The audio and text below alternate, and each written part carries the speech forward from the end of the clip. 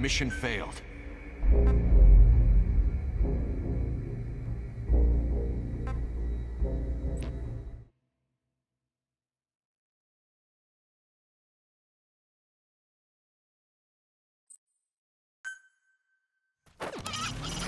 Extract the PF transport truck.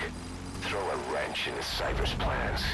You can check the target's location on your iDroid.